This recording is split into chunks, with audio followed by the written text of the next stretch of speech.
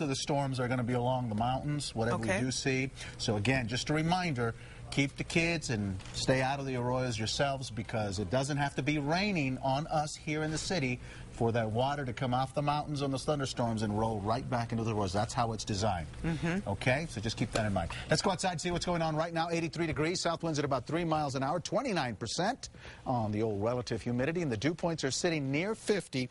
So still plenty of moisture to help fuel those mountain showers and storms. The temperatures in Santa Fe are at 84. It's 87 in Farmington. It's already in the mid 80s in Roswell and already 90 in Clayton. So there's a lot of warm temperatures.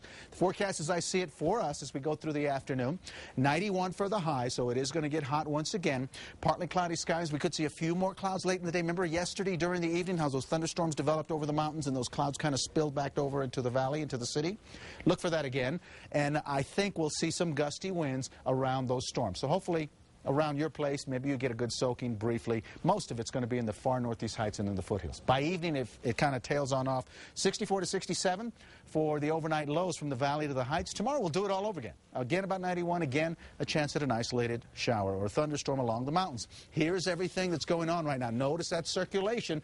The clouds are coming in, wrapping a back, and then working their way across the Rockies. That's because the high is almost right on top of us right now. So over the next few days, just looking at the 6 to 10 day precipitation outlook, the western part of the state specifically should be the area that gets the most precipitation. I think that's where the moisture is going to be rolling.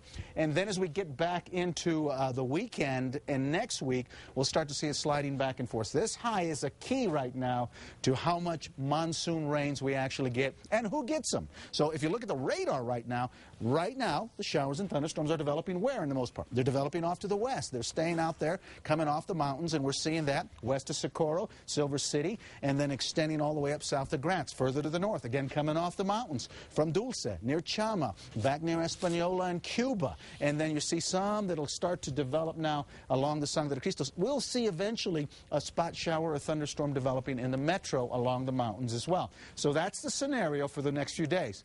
Well, what happens between now and the 4th of July? Big weekend. Matter of fact, a lot of folks get Friday off as well. Here's the deal. Warm to hot temperatures right now. Isolated storms mostly back to the west. That high is going to inch back off to the east over the next few days, and that should drive enough moisture uh, to produce those showers and storms directly across central New Mexico, as I just showed you, back to the west and to the northwest, into Saturday the 4th and especially into Sunday and into Monday. So hopefully we can get the bulk of the day in for the 4th um, without major thunderstorms. That's one day we probably don't want it. And then Albuquerque's looking like it's going to stay around 90 all the way through Sunday and Monday of next week as well. All right, we'll keep our fingers crossed for a good fourth. Thanks a lot, Mike.